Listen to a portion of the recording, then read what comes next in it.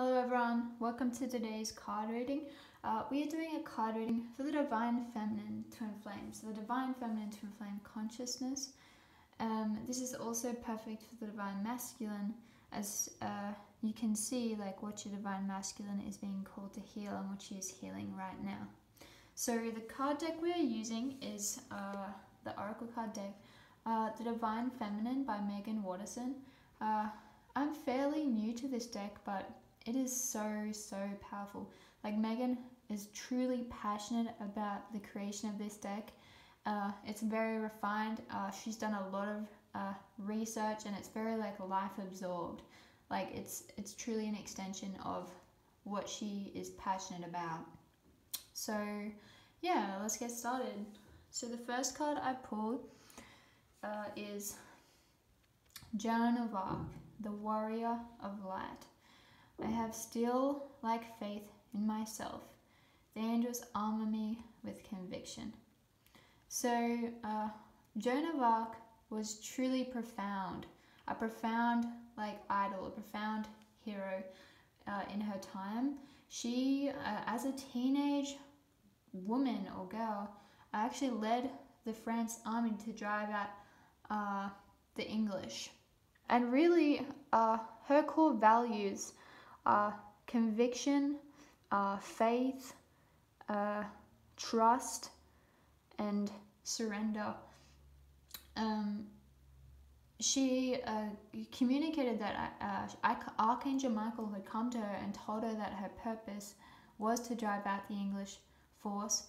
And what she did with that was she she took that message and she she ran with it and she never looked back. And you can see it just with her, um, like her facial expression, like nothing is stopping her. There is like no space in her mind for her to be stopped. Um, it, she has aligned with God's will and n- nothing's getting in her way. So, uh, one of the quotes she said was like, act and God will act.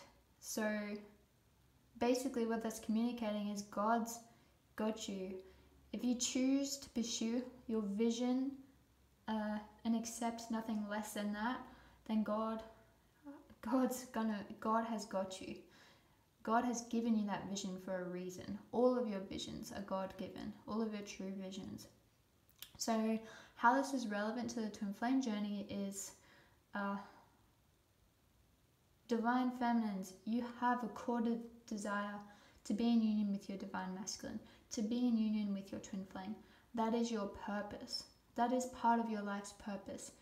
Uh, is to always be in union with your divine masculine, and you already are at the core. But what this card is inviting you is to stop at nothing to achieve that. Stop at nothing to achieve the truth of who you are. Uh, follow your heart all the way through until union, because union is true, Union is real, union is possible with your twin flame. So, yes, that's the first card. Choose it, and so it is.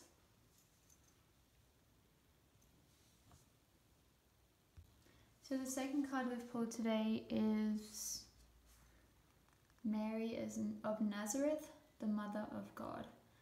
I am blessed. My courage gives birth to the divine. Mm.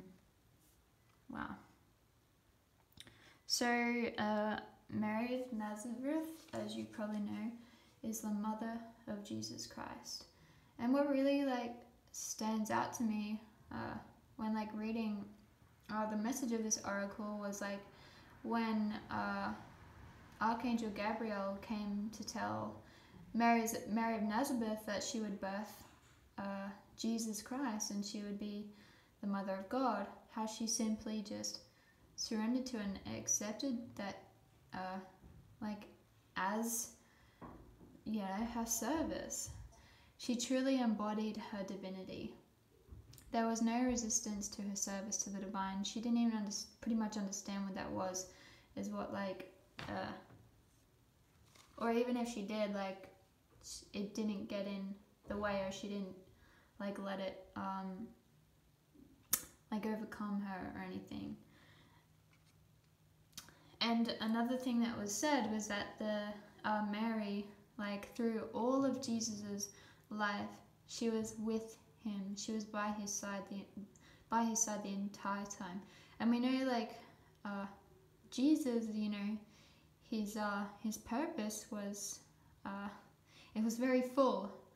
Uh, it, it, it, he went through and uh, a lot.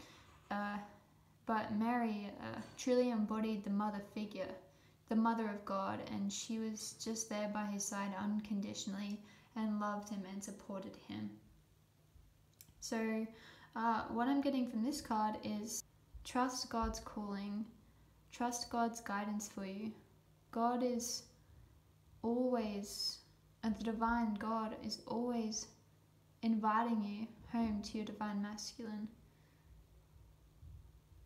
And it's they God knows the way home. And you're fully safe and supported. Your your twin flame union is already yours.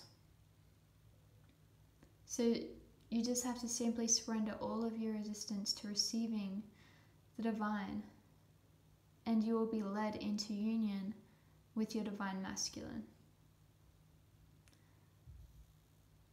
And you can feel Mother Mary, uh, Mother Mary's her, div- her divine mother. She loves so deeply and purely and unconditionally, like she knows nothing else. Love your divine masculine in this way, divine feminines. Love God in this way. What would you expect in return if you were to do so? If this became your way of life? You would see you would receive a hundred percent pure love in return. You would see the truth of divinity. You would see your union as life. Only love is real. And you will come to know that as you surrender completely and trust completely in God who loves you. Whatever God asks of you is for your highest purpose. You can trust in that. Mother Mary having mothered Jesus, that was for her highest purpose. God only asks service of you that is for you, that is to love you, that is to invite you deeper into your union.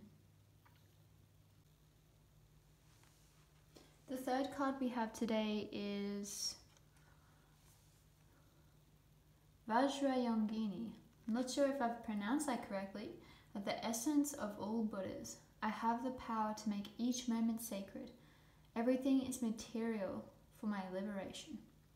So for this one, I actually want to read um, an excerpt of this uh, of the uh, guidance book. It's really powerful. So no matter what has happened, recently or in the past, Vajrayogini reminds us that we possess the fierce wisdom that transmute any pain or suffering into deep lessons that free us and bring us more joy. She is the call to wake up if we've fallen into that old myth that something or someone outside of us is going to save us. She is here to make it loud and clear that what is within us will save us. We can take this moment right here, right now, and turn everything sacred.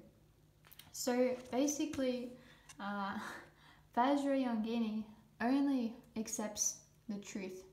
Uh, no matter what you're going through in life, no matter like where your life is at, where your twin flame union's at, Vajrayogini, uh, I really apologize if I'm not pronouncing that correctly, will uh, see the truth, chooses to see the truth for, uh, for empowerment. The truth is empowering. Uh, so uh, no matter where you are, uh, in your union, if it seems uh, to be in a poor place or not moving or you know it's not going right, there is a divine uh, truth at the core of whatever you're going through that is empowering, that is full of love, and that will guide that will uh, guide you forth and like and deeply encourage you forth. Uh, there's probably even better words for that. Uh, but call upon her for what is that message in your union? What is the truth of what is currently happening? Uh, let her help you uh, see the truth of what's currently going on in your union because the truth is only love is real. Ego is not real, nor is separation from your twin flame. And the other clear message that she communicated was uh, you're not a victim. Nothing that is going on right now in your union is beyond your control or can never be healed or, or changed. Union is yours. Union with your twin flame is yours. And by your uh, choice to see the truth and your choice to choose an alignment with love, uh, your union is already yours.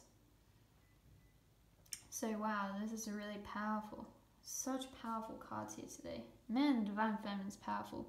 See how see how powerful these like three women are. Like their divinity is not separate from your divinity. Their power is not separate from yours. You you behold the same power within because you are connected to the same God that created them. God created equally.